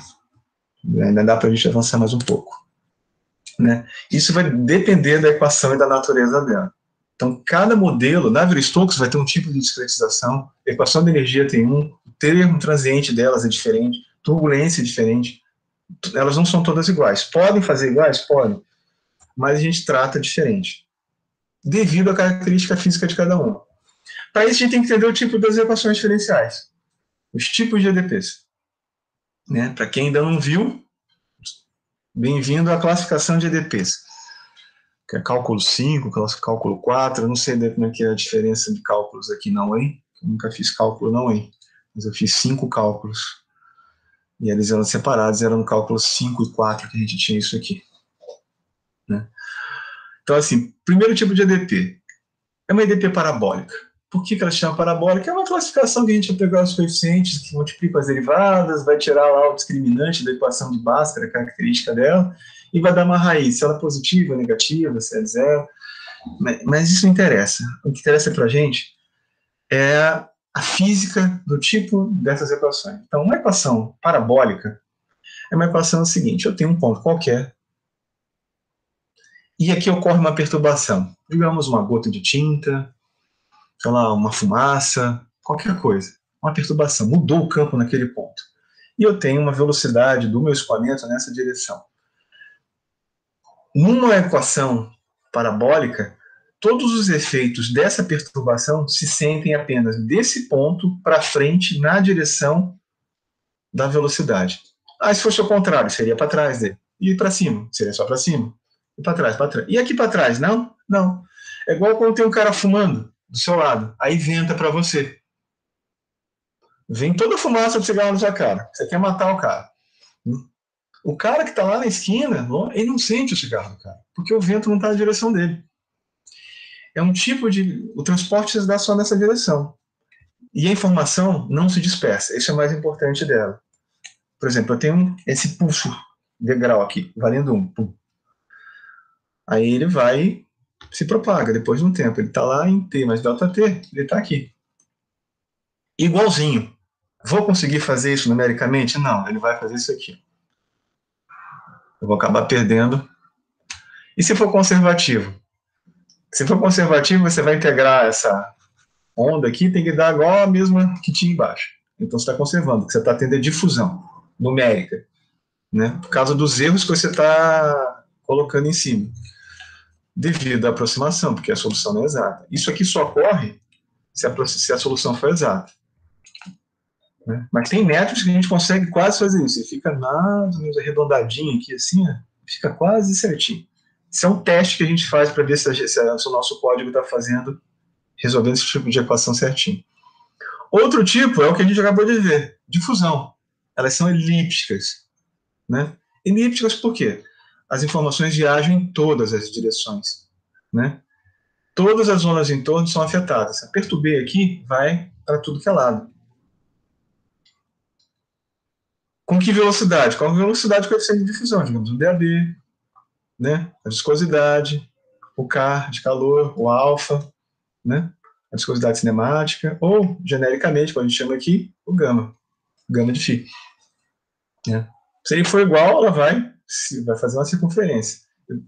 Se ela for mais na direção x, fazer esse elipse mesmo. Então, assim, é como se fosse uma explosão. A explosão não explode só para frente, ela explode para todos os lados. Ela tem uma zona, uma, área de impacto. Tipo assim, eu perturbo daquele jeito e ela vai, ó, vai atenuando e se espalhando. Né? E essa aqui é a mais zoada, a hiperbólica. A hiperbólica, ela parece a parabólica muito parecido com a parabólica. A diferença é que o resultado da perturbação que ocorreu aqui ocorre numa distância L à frente, que eu não conheço a priori. Ah, mas onde isso ocorre? Escoamentos supersônicos. Quem já viu lá, tem um aviãozinho voando, tem lá asa do avião, aí tem aquela coisa aqui na frente. Isso aqui é onda de choque. Ela está à frente do avião. E às vezes tem umas aqui ainda né? outras ocorrem aqui atrás. Isso ocorre em escoamentos supersônicos. E elas são extremamente complicadas de resolver, são as mais chatas, hiperbólicas. A equação da massa é uma equação hiperbólica. Conservação da massa é uma equação hiperbólica. E por que, que eu estou falando isso aqui? Porque nas equações que a gente está trabalhando, a gente tem pedaços dela. Esse pedaço da equação aqui é hiperbólico. Esse pedaço é parabólico, esse pedaço é elíptico. Dependendo de quão grande forem esses valores numéricos que a gente resolver, a gente vai ter um comportamento dominante. E a nossa discretização deve levar em consideração esses comportamentos, senão vai dar problema. Principalmente com esse aqui. Esse aqui é o cara mais chato. Mas, felizmente, esse aqui é quando o MAC está atendendo a um, que a gente tem problema com isso. Ou escoamentos multifásicos, que a gente não vai ver. Seria uma coisa assim, perturbei aqui, ela aparece lá do nada, fantasmagoricamente e se propaga. Ela é a onda de choque que acontece em escoamentos. Né? Como seria daí a discretização daquele mesmo problema que a gente fez para aquela condição D daquela barrinha, né? um D permanente, tudo igualzinho que a gente tinha feito antes.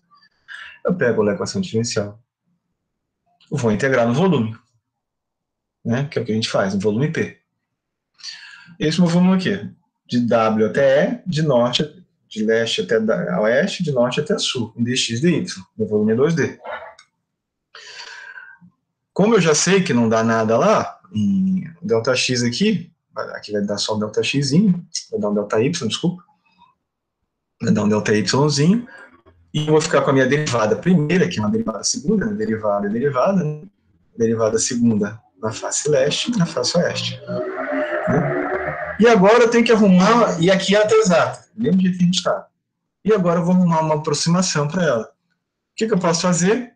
Eu tô eu tenho um volume aqui, ó, tem um ponto P, aqui eu tenho meu, minha face leste, e aqui tenho meu ponto leste. Posso fazer a diferença entre eles é ΔX. Vou fazer uma diferença central. T em E menos T em P dividido por ΔX vezes o meu K em E, que eu não sei se é mesmo, se ele é constante ou não, se o material mudou. Por isso que eu mantenho esses índices aqui, porque se o material muda, eu tenho que usar outro K. Então ele mantém esse índice lá dentro. Mesma coisa eu vou fazer para o W, segue para trás. Pega isso aqui, substitua aqui dentro. Ó. Acabei com a derivada. Daqui para cá eu tenho uma aproximação numérica. Aqui eu estava com ela exata. Agora eu não estou mais, eu tenho uma aproximação numérica e mistura, aqui eu tenho TP, TP, não vai dar 2TP. Uai, aí ela foi e deu a mesma aproximação que tinha dado para diferenças finitas. Por coincidência, tá? É uma coincidência, porque a gente usou a mesma, porque lá a gente usou a diferença central e aqui a gente também usou a diferença central. Né?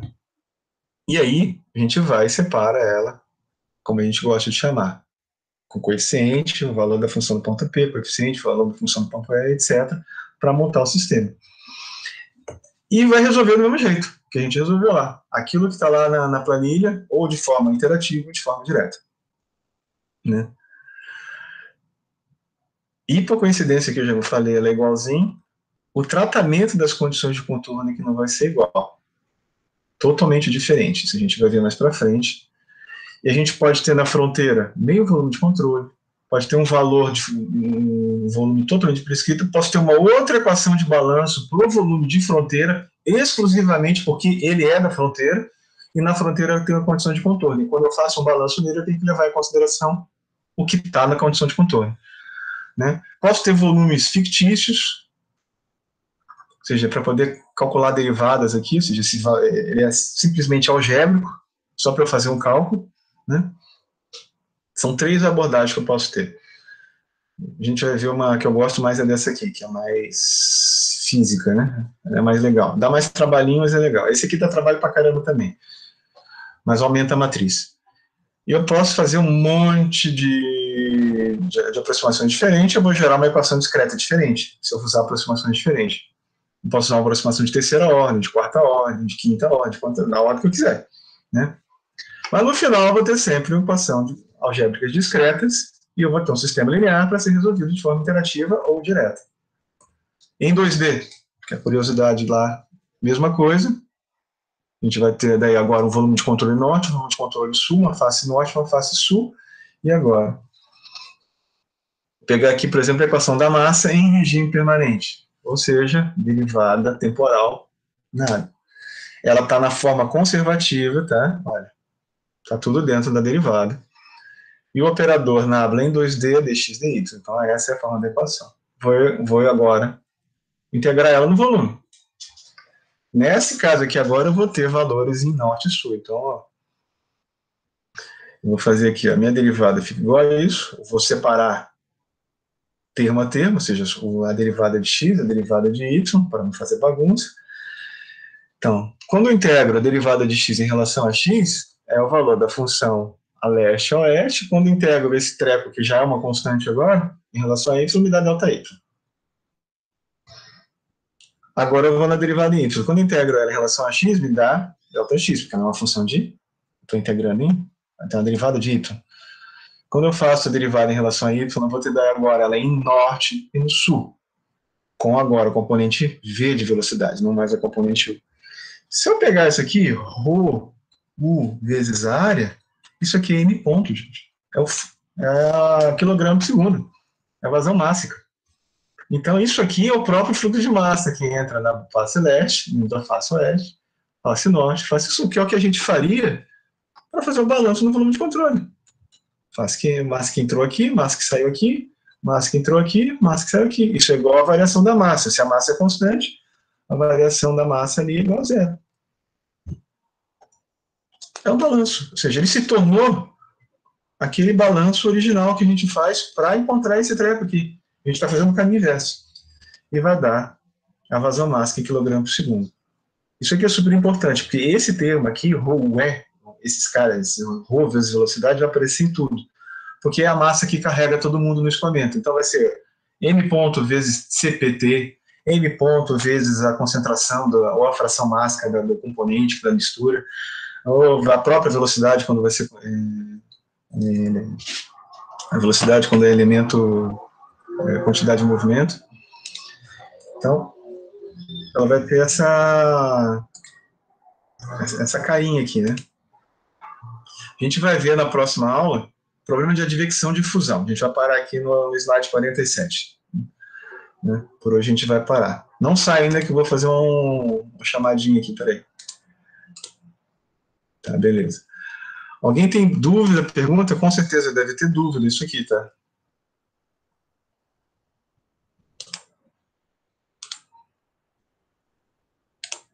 Ah, Dúvidas, por favor? Tem um chat aqui, deixa eu ver. Só boa tarde, então ainda boa tarde aqui. Tá. Por que, que é importante saber isso aqui? Isso aqui é o que está implementado dentro do simulador. A gente não precisa fazer isso aqui tudo. Tem um monte de coisa lá para frente ainda. Tudo isso aqui é aproximação. As equações vão ficando assim.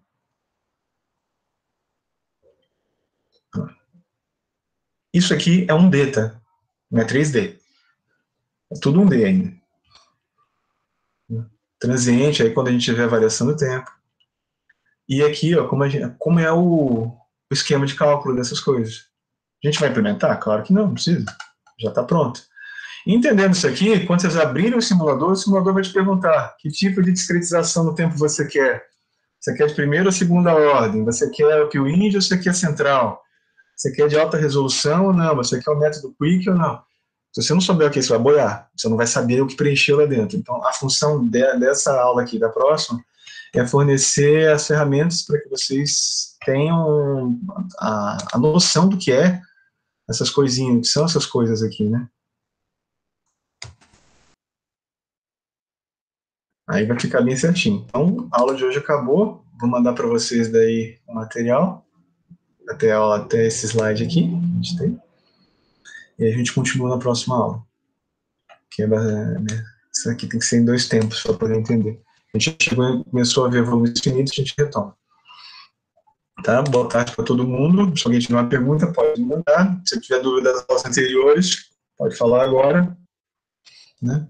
De alguma coisa dos os questionários também. Então tá bom então, pessoal, acabou. Professor. Oi. É, Quem? O Roberto. Quem é?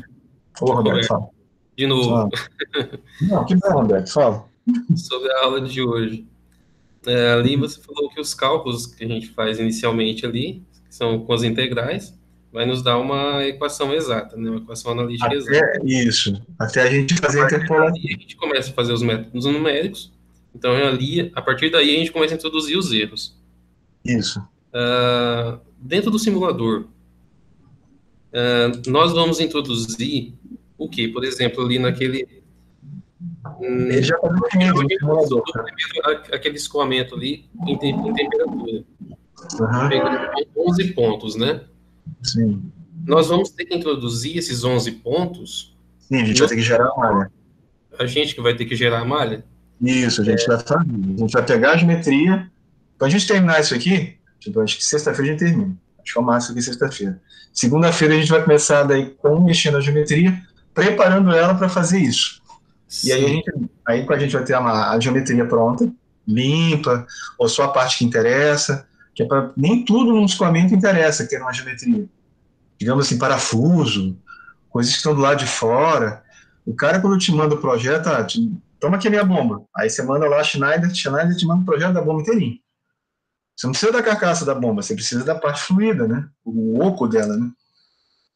Aí você tem que limpar, tem que, como é que eu faço isso? O cadista não tá nem Ali, professor, voltando a, a, aqueles 11 pontos de temperatura que teríamos que introduzir. Isso, você vai subdividir é, geometria. Nós vamos calcular. Oi? Colocar, é a gente que vai calcular para colocar ali, ou de forma interativa, ou o próprio simulador vai dar uma. Vai não, dar uma, não, vai gerar a malha. Você vai gerar a malha. Ele não sabe a malha, ele vai gerar uma malha automática com base no tamanho do, do, do domínio. Vamos supor que você deu para ele uma caixa d'água de um metro cúbico. Ele vai te criar um elemento, ou seja, um volume de controle mínimo de acordo com aquele cara, com aquele tamanho. Mas quem sabe se aquele volume pequeno é bom ou não é você. Você que é o um engenheiro, o simulador não sabe. Aí você quer, não, quero menor. Você vai lá e altera o tamanho dele, ele gera uma nova. Ele vai ficar mais fininho. Ou não, tá, tá pequeno demais. Eu, eu quero fazer um teste só. Eu não quero 11, eu quero 7, 5 pontos. Eu só quero fazer um teste rápido. Para testar a minha física, a condição de contorno e ver se roda. Você não tá, você não aí você vai e aumenta o tamanho dele. Gerar malha é uma das partes mais demoradas da simulação. Sim, mas aí, é, se você estiver passando, por exemplo, eu quero calcular o perfil de temperatura numa tubulação de 10 metros. Cada, cada metro eu quero um ponto. Eu vou ter uma Sim. temperatura ali, né? Sim. Se, eu, se, aquilo, um se aquilo é isolado, beleza. A gente vai fazer umas, algumas suposições e provavelmente vai dar certo no final. Mas é, se eu tenho uma temperatura de 10 graus inicial e lá no final vai ser 50, então talvez eu consiga fazer suposições a cada um metro. Mas se aquilo uhum. não é isolado, se essa tubulação passa por um, uma, uma parte que tem sol, então essa geração de, de energia vai estar constante ali. Sim. Qual, não, isso eu teria que medir, o que, que eu teria, é, através de medição, e, e, se eu não tiver, porque é um simulador, né? Então, se eu não, se eu não tiver como fazer o experimento, fazer essa medição, que eu vou, vou supor. Ah, é você tem que. É, você vai ter que arrumar algum lugar. É. Não, é, você vai poder botar lá a radiação. Você pode botar essa condição de contorno lá. Você pode fazer o que você quiser no simulador. Literalmente o que você quiser. Você pode botar radiação, convecção, isolado, adiabático, metade, perfil, perfil variado no tempo, perfil variado no espaço, no tempo, no espaço, você coloca o que você quiser lá. A questão é justamente essa. O meu modelo representa a física, a validação é outra parte complicada. Uhum. Né? Isso é uma ferramenta. Por isso que a gente tem várias delas. Por isso que eu apresento para vocês o Discovery Live, aquele que roda na placa gráfica. Aquele cara lá não é para dar uma solução de engenharia final. É na hora que você está fazendo o conceito do projeto. Você quer ter uma ideia do que vai acontecer. Aí tá. Você tem mais ou menos o teu CAD mais ou menos azeitado. Aí você vai para o Discovery IM, que faz umas simulações meia boca, mais simplesinho. Beleza, agora eu quero saber como é que isso, falando desse jeito aí, pô, tá batendo sol na tubulação, a gente está no inverno, tá chovendo, tá tendo condensação, um monte de coisa. Aí agora você vai para o CFX ou vai para o Fluent. Aí você vai ter que fazer um. Essas coisas. Aí a tua malha vai ser 1D, 2D, 3D. Você vai ter, aí você vai ter que colocar as condições de contorno. Isso que você está falando são condições de contorno. E ele aceita. Mesmo para um metro, para meio metro, para cinco, não interessa. O tamanho do domínio depende do problema. Por exemplo, reservatório de petróleo, que algumas pessoas disseram que não dá para rodar com CFD. Reservatório de petróleo é uma rocha porosa cheia de petróleo. Escoamento meio poroso. Você fura de um lado, injeta água do outro e tira óleo na ponta. E fica aquele negócio andando lá dentro. O volume de controle daquilo é de um quilômetro por um quilômetro. É um cubo de um quilômetro de lado. E a propriedade física da física é gigantesca. Acho que o relatório de petróleo é do estado do Espírito Santo. Então, o volume de controle de verdade na minha. Professor. É, eu posso extrapolar essa malha, a minha malha inicial, para poder pegar essas, essas condições de contorno externas da tubulação? Extrapolar para onde? É, como ele deu o exemplo da irradiação e tudo, extrapolar para poder pegar essas condições externas. Isso é uma condição de controle, não precisa extrapolar. Tua malha, a tua malha é sempre dentro do domínio. O domínio é da fronteira para dentro. Sempre, não tem fronteira para fora. Se você envolver a fronteira para fora, o teu domínio é maior. Envolve daí a tua tubulação, envolve a parede, envolve o fluido dentro e o fluido fora. Então você tem que fazer até o ambiente externo. Se você quiser fazer, ah, eu quero saber como é que é meu cano com ventos. Você tem que fazer uma bolha em volta desse cano e botar a direção. A gente vai, por isso que a gente tem na, na no curso, a gente vai ter escoamentos externos, é esse tipo de problema, quando você precisa envolver escoamentos que passam em torno de estruturas e não dentro de estruturas. Por exemplo, uma asa de avião. Né? Você não quer saber o que acontece dentro. Mas aí você não tem extrapolação para fora. Né? A, o domínio, ele, as equações só funcionam da fronteira para dentro. Para fora, não, ela não sabe, ela não enxerga, não existe. O que vem para fora é a condição, é a, a condição de contorno. Aquele tem infinito, aquele tem infinito, você tem que dar. Sim, então, você é pode uma botar convecção. Qual a temperatura externa? Você vai ter que fornecer essa temperatura externa. Ou ela vai ser fixa, vai ser uma correlação, ela pode ser até uma função, né? Que você foi no laboratório, pegou de um livro, não importa. Ele aceita esse tipo de coisa. Mas ela tem que ser dada, ele não adivinha. Né? É uma, tipo, vai estar tá tudo montado lá dentro. Ele só vai perguntar para você o que, que acontece aqui, o que, que acontece ali, como é que você quer a aproximação, que é essa, é de primeiro, segundo, que é misturada, você, quantos passos de tempo você quer, qual o valor que você quer usar aqui, quantas interações você quer dar, qual o erro que você admite. São as perguntas chaves que ele dá. Essa, sim, se está se tá para dentro, tá pra... ele não faz essas perguntas. Ele não sabe. Quem sabe disso é a gente. Por isso que tem que usar essas ferramentas com cuidado, porque elas dão coisas lindas. Você olha assim, nossa, que legal. Aí você olha, tem nada a ver. A primeira e segunda lei de termodinâmica violada. Coisas do tipo. Né? Mas a gente tem condição de radiação, tem condição de convecção, tem condição de fluxo, a gente pode ter estrutura perdendo calor para fluido, trocando fluido com fluido, fluido com parede, a parede deformando, trabalhando, pode ter tudo isso junto. Os simuladores são altamente flexíveis e robustos para lidar com essas condições de engenharias reais. Não sei se vocês lembram daquela Copa que teve lá na acho que na África do Sul, e teve aquele, aquele estádio que era o Ninja, tinha aquele arco gigante que eles fizeram. Aquele arco inteiro foi feito no ANSYS. A estrutura inteira. Eles queriam saber se aquele negócio ia vibrar com o vento, então era um escoamento associado com análise estrutural e modal. E para saber se aquele negócio ia cair em cima da cabeça de todo mundo quando ventasse. E aquilo foi todo o projeto pessoal veio da Alemanha fazer aquilo, para até a África do Sul, eles ficaram lá projetando aquilo durante o período inteiro, pré-Copa do Mundo. E aquilo foi tudo feito no simulador antes de ser montado. Aí eles fizeram todas as longarinhas e montaram o sistema e está em pé até hoje. Mas ele foi, não tem como fazer um experimento daquilo, não existe. É um negócio, uma escala que você, o upscale, você faz uma maquete, ok, mas não tem como você extrapolar aquilo para aquele tamanho. Só a simulação da jeito daquilo. Aí você tem os fatores de segurança, né? Obviamente, de, de resistência de materiais, um monte de coisa. Mas a gente consegue fazer sim. É bem, é bem, é bem robusto, bem flexível. Esses simuladores que a gente vai usar são bem flexíveis. Eles aceitam coisa pra caramba. Fazem coisas que vocês vão ficar assim, nossa, legal. E é muito simples de fazer. Um problema ou outro pode ser complicado, requerer, às vezes, você introduzir alguma coisa que não está no simulador. Por isso, eles aceitam, o CFX aceita subrirotinas em Fortran, externas, e o Fluent subrirotinas em linguagem C, que são as linguagens nativas de cada um. Aí você vai, escreve um códigozinho, que é uma, faz uma macro, coloca a sua função lá e ele vai usar esse negócio e acoplado ao código dele.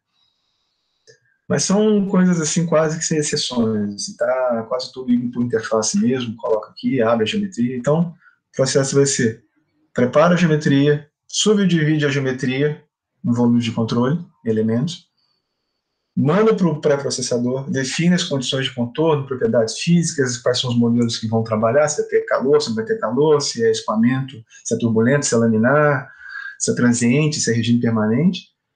Fez isso, define o que, que o software vai querer, se eu quero 50 interações, o erro de um milésimo ou um milionésimo, se eu quero fazer backup, se eu quero salvar os transientes, se eu quero fazer médias dos resultados, tudo que você quiser. Se eu quero monitorar um ponto, verificar o valor da, de uma variável, uh, se eu quero fazer, exportar valores, um monte de coisa. Se define isso e bota para rodar. Aí ele vai ficar resolvendo, vai te mostrar um gráfico, e a hora que ele acabar, aí você vai processar. Vai abrir, vai ver contorno, vetor, linha de corrente, campo de temperatura, campo volumétrico, o que você quiser. E aí começa a fazer as contas. Aí é que vem a engenharia agora. Você olhar para aquilo e saber, está fazendo sentido? A temperatura aqui está ok? Pô, mas não estava batendo sol meu cano aqui? Tinha que estar tá esquentando, por que está esfriando aqui? Aí você olha lá, volta, dá um pé atrás, você trocou o sinal, né, do negócio. Aí era para estar positivo, você botou negativo. Né? Pronto, aí você bota lá, roda de novo, ah tá, agora está aquecendo. Coisas assim. Tem que ter esse, esse, esse feeling, tem que ser engenheiro na hora. Ele vai te bater, ele não vai dizer se está certo. A única coisa que ele diz é que essas equações convergiram. Se elas fazem sentido físico, é a engenharia e daí a experiência de cada um na área do problema. Né? Aí tem que, tem que ter experiência com o problema também. Mas isso vem com o tempo também. Para quem está começando, não se preocupa muito, não. Você vai, vocês vão aprendendo. Para quem já está fazendo alguma coisa, já está empregado, fazendo algum estágio aí, já estão mais ou menos também entendendo que tem que ter uma. Você tem que entender do problema que você vai resolver. Quanto mais você entende do problema que se resolve, menos problema você tem. Fica mais fácil de resolver, você mais vai direto, você dá menos volta em torno do rabo. Mas é um processo de tentativa e erro. A gente vai aprendendo e errando também. Mais pergunta? Vitória, Roberto, ok? Então deu então, pessoal. Se ninguém tem mais pergunta, vocês podem tomar um café já é 5 e 12 já. Ok, professor. Obrigado. Viu? Ok, mas qualquer dúvida pode mandar e-mail também, tá? Se tiverem dúvidas.